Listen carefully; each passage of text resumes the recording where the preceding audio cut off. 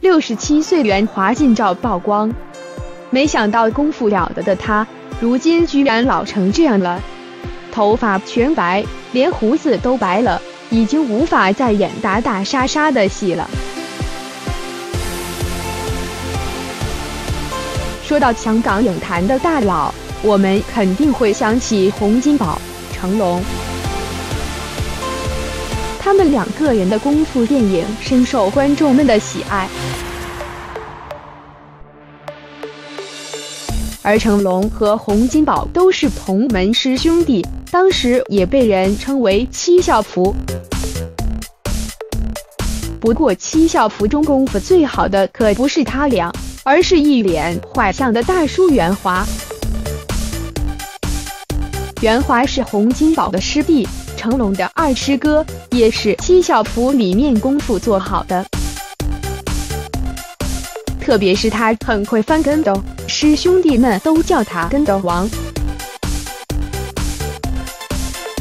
正是如此，身形与李小龙长得十分类似的他，成为了李小龙的替身。当初李小龙十分欣赏袁华的身手。也是承诺要带他去美国发展。不幸的是，李小龙去世了。去美国无望的他，在香港电影黄金期与洪金宝合作，拍了许多动作片，如《飞龙猛将》《东方秃鹰》《机动奇侠》等等。由于他长相猥琐。一脸坏相，所以常常都是饰演大反派。而且在拍戏时，袁华常常可以以一敌三，也是被香港影视界称为实力型反派。袁华随着七小福打拼，香港大部分电影都有他的身影。无论是配角还是武术指导。袁华都是兢兢业业，而这一干就是四十四年。袁华饰演了众多的角色，但是却一直都是默默无闻。很多观众只是熟悉他的面孔，却不知道他的名字。而真正让袁华走红的，则是和周星驰主演的《功夫》。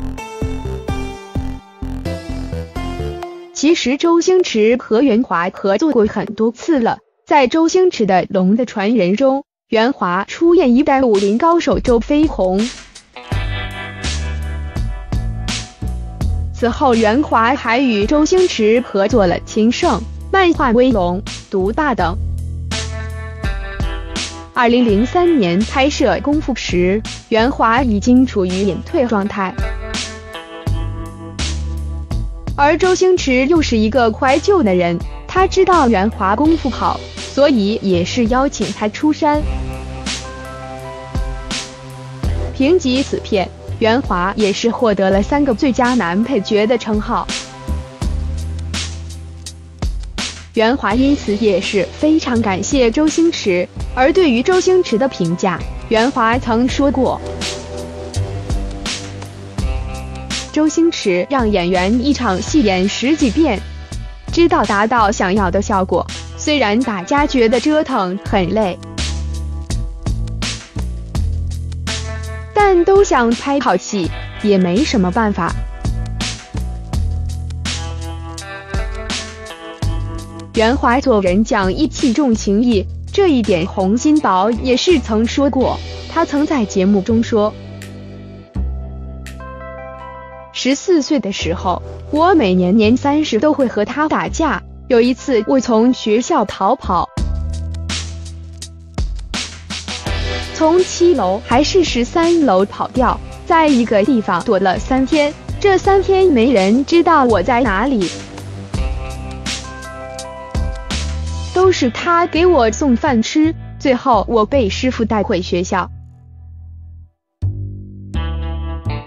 他被师傅用藤条打了八十多棍都没吭声。从此以后，我就说：“那你打我吧。”不过，对于师弟成龙，两位师兄的评价都不太好。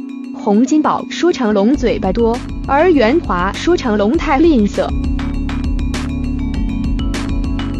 袁华在接受采访时说过。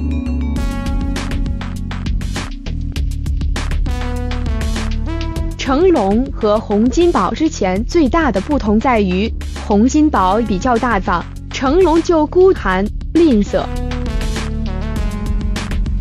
小时候，如果成龙家里人送了什么水果、巧克力，成龙都会把它藏起来，直到有一天想起来时已经发霉，才拿出来说一起吃吧。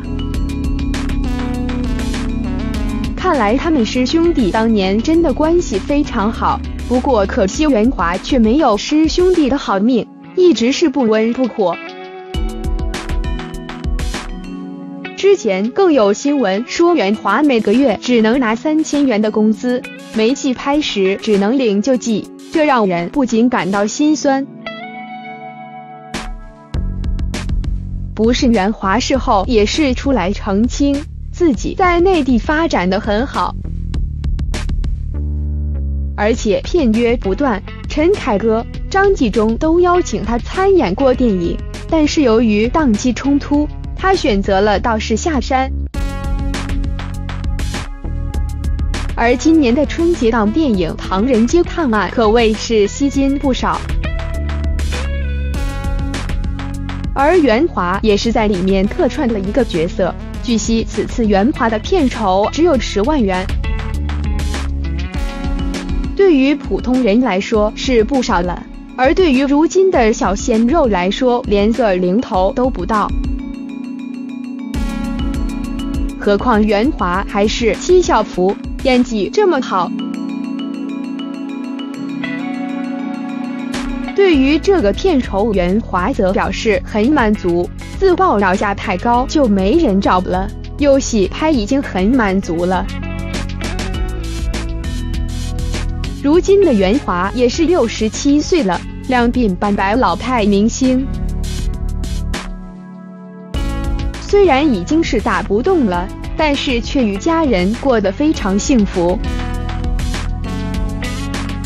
没戏拍的时候，就带着老婆一起去国外尽享天伦之乐。